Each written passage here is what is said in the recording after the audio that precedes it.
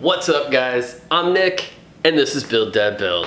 A place where we've always wondered, if a woodchuck could chuck wood, would they be going for volume or distance?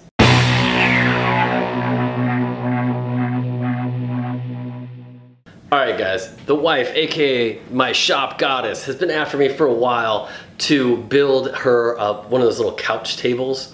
Uh, just the kind of kind of is an L that comes up and goes over the couch so she has some place to set her cocktail. But my thought was what I want to try to do is make a live edge looking table out of 2 by material. So what I'm going to do is I'm going to take so you guys may remember this from my uh, Viking chair build. I will link that right here if you haven't seen it. But this is the chair that didn't make it. This is the one that, uh, and this part was totally fine. It was the tail piece that just kind of didn't fit. But I figure I'll still make use of this piece of wood. I'm just gonna cut this piece off right here and I'm gonna use this part for the, the side or the leg of the table and the tabletop. So what I'm planning on doing is I'm gonna cut this in half and then I'm gonna carve kind of a live edge side into each side of it. We'll pour, we'll fill it full of epoxy, and then we'll make a table out of it. And hopefully it will look like it's a really expensive table that was really only about eight bucks, plus epoxy, and my time, and all the other stuff. But the wood, the wood was only eight bucks.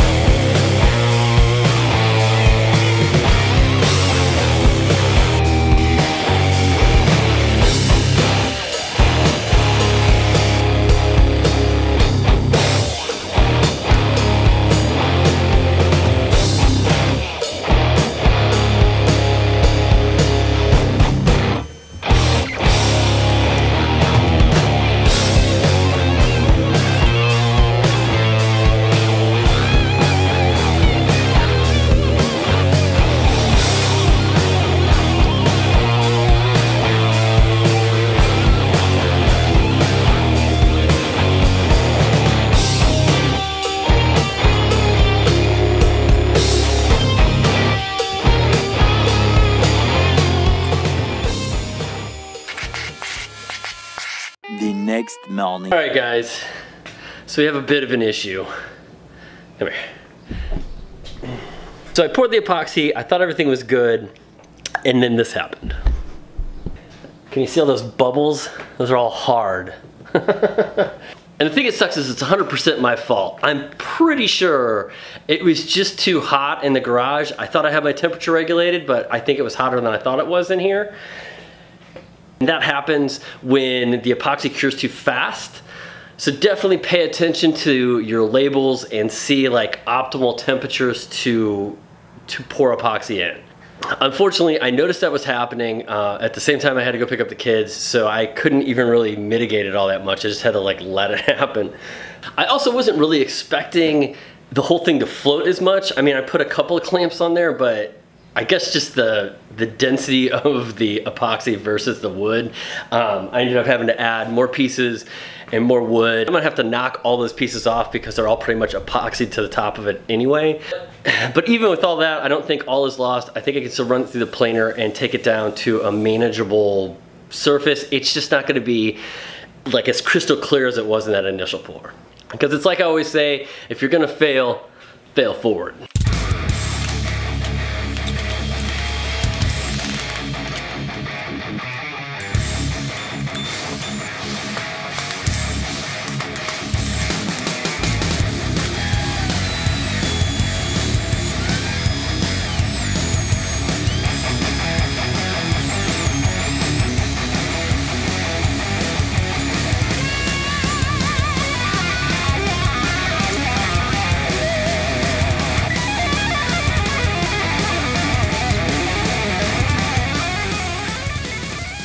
Game plan was to sand these up through the grits and then glue the corner piece in today, but I've got a bunch of these little pock marks that are in the epoxy and I don't think I can do anything. I can't, if I want to do anything with those, I have to do that first. I was gonna mix up some epoxy and pour it in there, but I think I'm gonna use CA glue because they're little tiny deals. I think that once we get it sanded down, you're not gonna notice. This could be a horrible idea.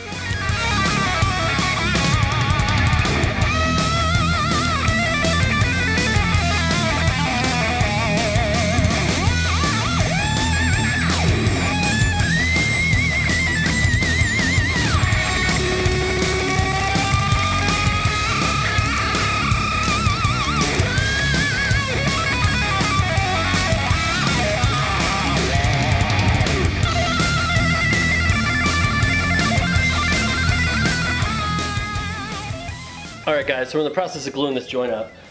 I have an issue though. So this miter was like perfect. It was like spot on. But when I was sanding the edges, I didn't take into consideration that the epoxy would sand faster. And even though I didn't sand very much, I have this gap here now. And this is a horrible idea, but this is the only way I can think to fix it right now. I've, I've come too far now to scrap this project. Um, learn from my mistakes, kids. Apparently don't sand it at all. I thought I would need to sand the epoxy at least a little bit so it wasn't so opaque. Um, maybe that was a bad idea, probably. It was a bad idea. So what I'm gonna do is I'm gonna mix up a very small batch of epoxy and pour it in here and hopefully if things go well, I'll be with you tonight. Ah, damn it, not again. Hopefully, hopefully, don't do it, don't do it, don't do it. Hopefully, I can color match this well enough that you won't notice.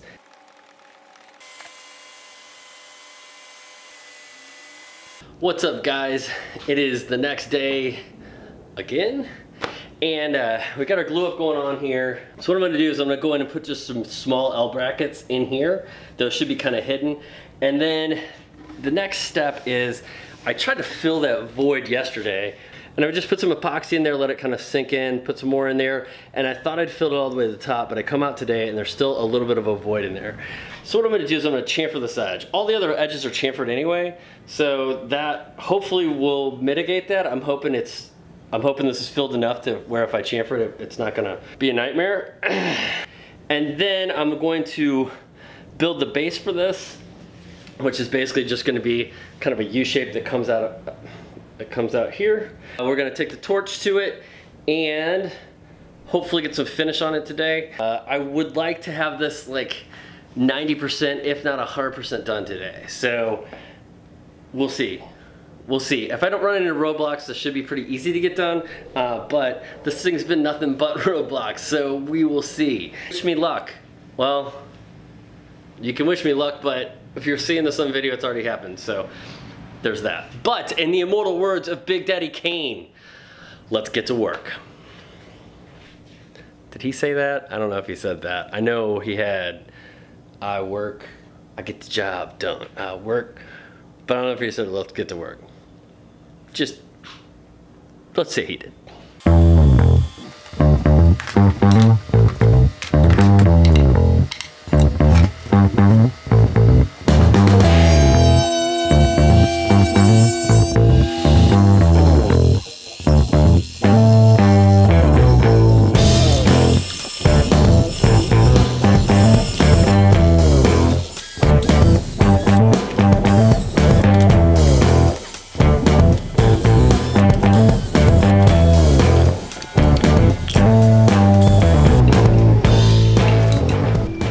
About you guys, but this thing's been giving me enough problems that I wouldn't be real upset if it just burnt to the ground. That being said, let's light this on fire, shall we?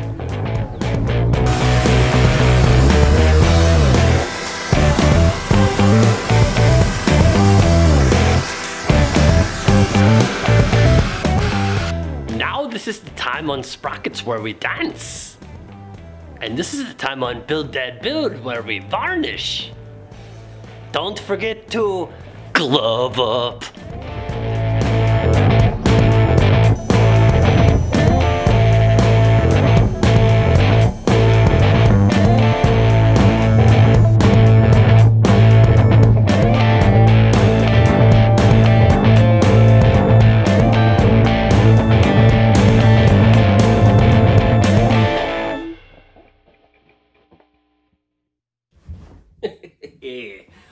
Happening, guys? Well, it was a pain in the butt, but I kind of love it. So much of this did not work out the way I wanted it to, but in the end, it all came together and it's a really cool looking piece. So let's talk about some issues first. Biggest issue being, of course, uh, the epoxy not curing right or kicking too fast.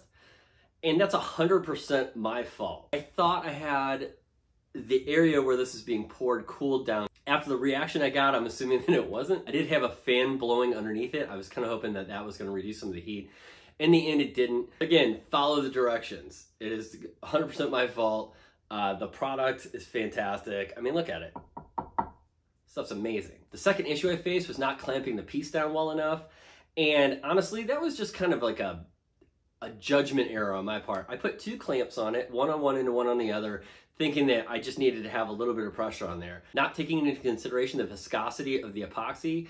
And even with those two clamps on there, the other ends of the boards were raising up. In an attempt to hurriedly remedy that, uh, I ended up throwing a couple more pieces of wood in there, uh, not being really careful with where the epoxy went, and ran into two issues because of that. One, I actually epoxied two pieces of wood to the face of this and had to knock those off and then actually plane off the rest of it. The other issue I had, which wasn't as apparent at the time until I took it out of the mold, of course, was one of these floated away from the wall of the mold. So I had a, like a quarter inch of epoxy just all the way down one side of this thing, which wasn't really the game plan in the first place.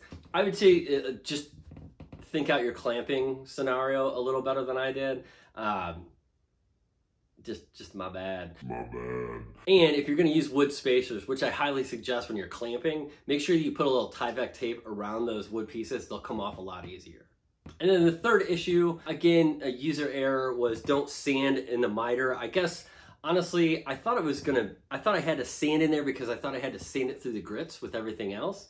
But it's still, I mean, it's just, it's just a thicker chunk of epoxy right there. So it's always gonna look different. Um, I, I would say that miter was so spot on to begin with that I, I don't know, other than maybe doing like a quick hand sand to knock off any, if there's any burrs or anything, I don't think I would sand it at all. Um, I did end up coming back and filling it with epoxy and it ended up working out in the end, uh, but it, it took a lot more time. The End result is awesome.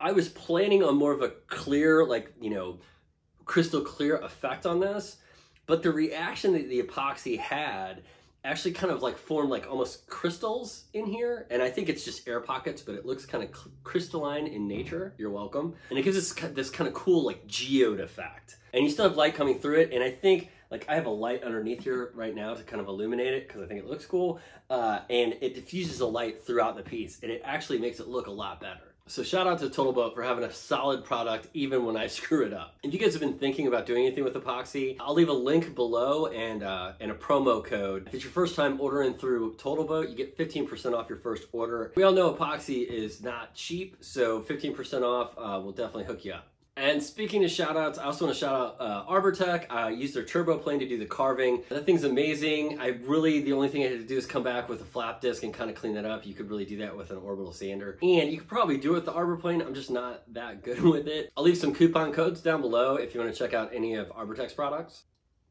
And while we're on the topic of shout outs, I'd like to shout out all of my patrons. I love you guys. You guys are awesome. Thank you so much for all your support. I really appreciate it. To all these guys who are in the higher tiers. And I'd like to say hello to our newest patron, Nellie Adams. Welcome to the fray. So as always, a special shout out to Stephen Mann and Nick the Greek. You know what you did. And as always, Clinkies. Alright guys, if you like this video, hit that like button. If you haven't subscribed, subscribe, man. It's a button, it's right there. You click it once and you're done. You click the bell, and then you get notified every time I put up a new video. And until next time, thanks for playing But now I gotta get back to work. Couch table things that just kind of comes up off the ground and has like an L shape that goes over the couch so she can set her wine on it and whatnot. My neighbor is trying to attack something with a broom. Interesting. Now is the time on Sprockets when we dance. And now, now on